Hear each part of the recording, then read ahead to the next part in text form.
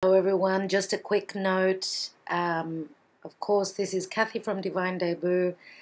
Thank you for being here. I just want to make an announcement. If you want to see extra videos, an extra video from me for February, I'm actually featured on Nadiya Shah, the famous astrologer. Nadiya Shah on YouTube, um, one of my favorite ever astrologers. She's actually hosting one of my videos on her channel for February. So I'm doing all the elements plus each sign on their own. I'm also taking a card for Valentine's. So if you want extra um, tarot, extra extra astrology, please visit her channel, Nadiya Shah, on YouTube, and um, you can see my video that is there as I said, Nadiya loved um, to have me on her channel for February, and I'm thrilled to bits about it. So, if you want to have a sneak preview of who is behind the camera, go and visit her channel. Please give me a like, share the videos, um, and you know, that's going to be very much appreciated. I'd love to read your comments there as well. So, let's go on to your readings now. Thank you so much for listening. To say that I will be putting the link for the video, which will take you to Nadiya's channel, um, in the description box below. So you can just look in the description box, click on the link, and go on to Nadiya's channel. Thank you again. Hello, dear Pisces. Welcome to Divine Debut. This is Kathy speaking. Thank you so much for being here. This is your Valentine's Day reading, Valentine's 2019. So on or around the 14th of February, give or take a few days. This is a general reading. Don't forget, there are so many Piscean people out there who want to listen to this. So the same thing is not going to happen to everyone at the same time. So please don't forget to watch your sun, moon, and rising signs. I just dropped a card. So let's take that. So we've got the card of the Hermit. This is Virgo. Now I'm doing singles first. And then I will talk to the coupled people. People who, oh, there's another card that wants to open up for you. People that have been in a long-term relationship. What else do we have? We've got the Fool card which is the energy of Aries. Love it.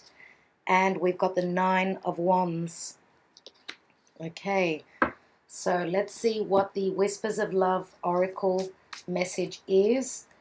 I've got a lot of information in the description box below the video. So if you want to know about which cards I'm using, if you want links to my channel, everything is there. So Let's see what the Whispers of Love has got to add to Pisces. And we've got your card, which is Romance. Wow, love it. Lavish the one that you love with your personal attention and affection. Well, Valentine's time um, is the right time to do this. So this could also be your partner doing this for you.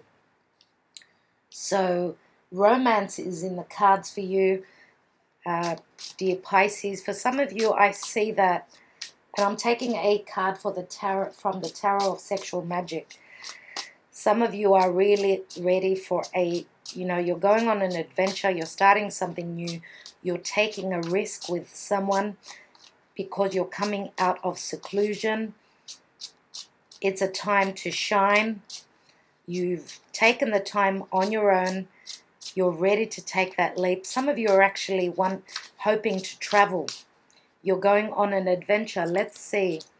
And we've got the Six of Pentacles, which would be the energy of Libra, Sun, Moon, or Rising.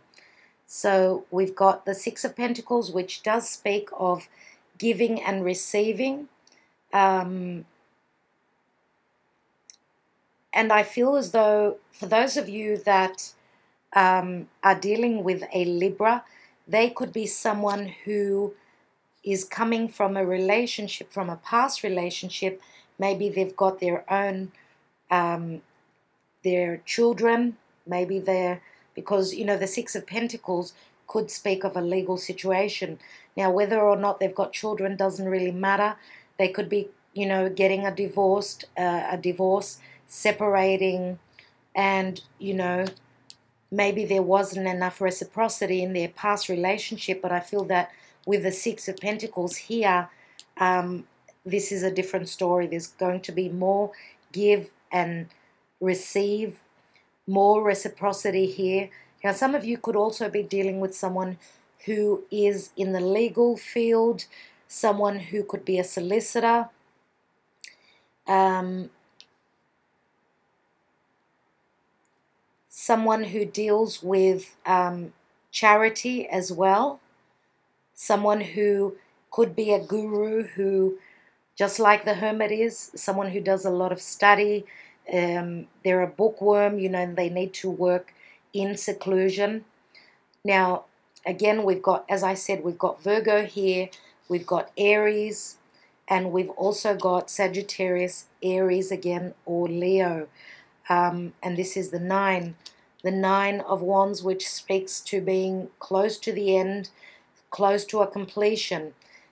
And because the Nine of Wands can speak of someone who is quite afraid to let go fully and just be in the moment. And what I mean by that is there it's because they've maybe have come from a rough relationship, they've got issues where they're a little bit they're holding back in a sense. Okay, there's still a, a tiny bit of working through the energies, but they're here. Look, they're standing on the edge of the cliff. There's someone who wants to have a new beginning. Now, could this be because Uranus is at the end of Aries? Um, Mars is the, all this week, and today is the 11th of February.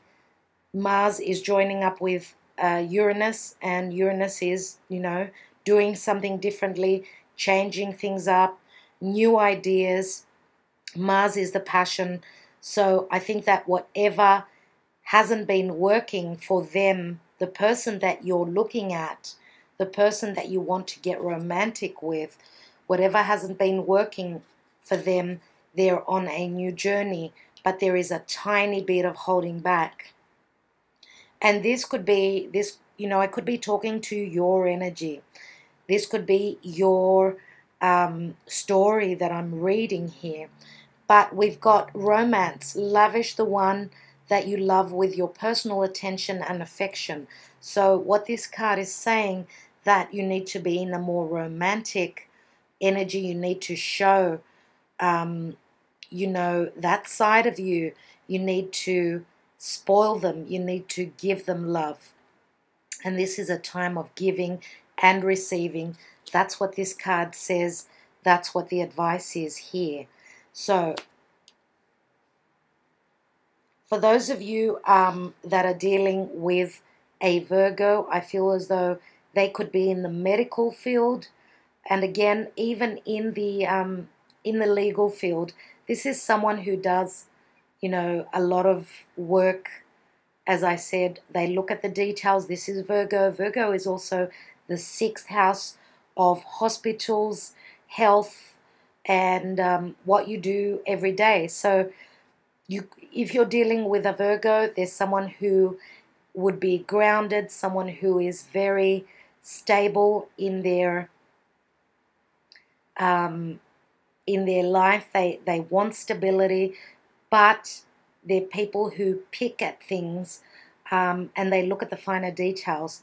So you could be wanting to take a chance on someone like that.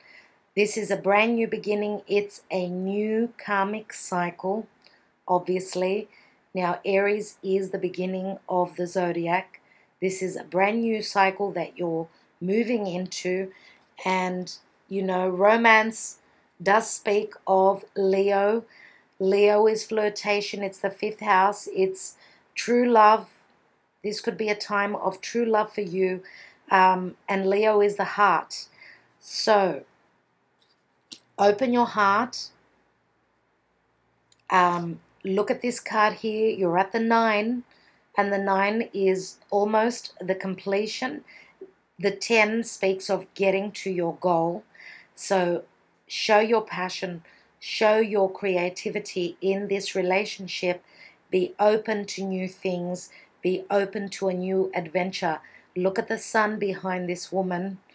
Yes, she's built up so much in her life. She's been through what she's been through, but she wants to get to her goal. And what is the goal? It's as we usually see with the Rider Waite Tarot, there is a house in the distance which says that that is what their goal is. And this could be you or your partner that I'm talking about. This could even be both of you. So you've got two nines, dear Pisces, two nines, which says that you're almost at the completion. You're almost at your goal. And the hermit is one step before the wheel of fortune. So maybe this says that you need to put in a little bit more effort, um, come out of seclusion, show yourself to the world. That's what Leo is all about. Now, Leo is quite strong here again, and that is a channeled message. You've got the wands here, so yes, Leo is prominent. Um, and with this card, what it's saying to me is don't look at the past, but look at the future. Okay, look ahead, don't look back. All right, dear singles, I hope that that was of help to you. Let's go on to the coupled, um, you know, long term relationships, marriages, engagements. It looks like you're ready to take that leap of faith. Okay, romance is changing up in your relationship. I feel as though for those of you that were, you know, quiet about either moving, having moved in with someone, or maybe even, you know, this could be the next step of moving in together because with the hermit, he's on his own, he's very busy with what he does, he's aligning to receive from the divine his next step what is the next step in the book of your life. It looks like changes are abound after the hermit, I said, is, you know, the wheel of fortune, which is Jupiter. Jupiter is in Sagittarius, it's working its magic. New cycles, okay? There are lots of, there is a lot of newness around planetarily. Um, so, whatever even with Chiron being, you know, in about a week, Chiron is finishing a 51 year cycle, finishing up in Pisces. So it's going to be moving into Aries. And Chiron is open wounds. Whatever has been holding you back, um, there is a completion here. Okay, this is a brand new cycle. And it says that there's going to be a lot of romance at this time it looks like your partner will be serenading you. This is like coming to a point of, you know, the romance, the heart is opening. The heart is opening, and there is more give and take, more receiving. Now, the Six of Pentacles does speak of, you know, sometimes there is an imbalance, uh, depending on the card, whether it's reversed or not. I feel that with the sign of Libra, Libra is the house of partnership, Libra is other people. Sometimes, you know, even external circumstances or influences and other people could have been affecting your relationship. But I feel that this is a time of balance through romance and magic. That's when you get to your goal. I really feel that. And Aries is the warrior. Aries is, you know, all about putting in the energy. Aries is ruled by Mars. And Mars joining up with Uranus says, put in the energy and make the changes to bring in value, bring value into your life. Because Uranus is moving into Taurus, and that's a very stable sign. Okay, so I think that that's what I needed to tell you.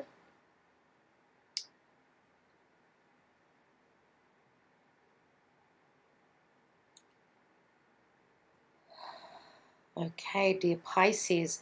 Now, with Chiron moving away from your sign, I feel that that's when everything, you know, that open wound is going to close. You will have been healed and you will be able even to be the healer, to become the healer within your relationship. Okay, so now when it says lavish the one that you love, it says that act. You know, take actions and show your love. Take actions and spoil your partner. That's going to work wonders for your relationship at this time. All right, dear Pisces, thank you so much for being here, for liking, sharing, and subscribing. Um, you know, giving love um, out, being open to love will bring that back to you. You know, once you are moving forward with an open heart, with a deep understanding, and, you know, put a bit of flirtation into the mix, put a bit of romance, it's going to work. It's going to work for you. Have fun. Thank you. Talk to you soon.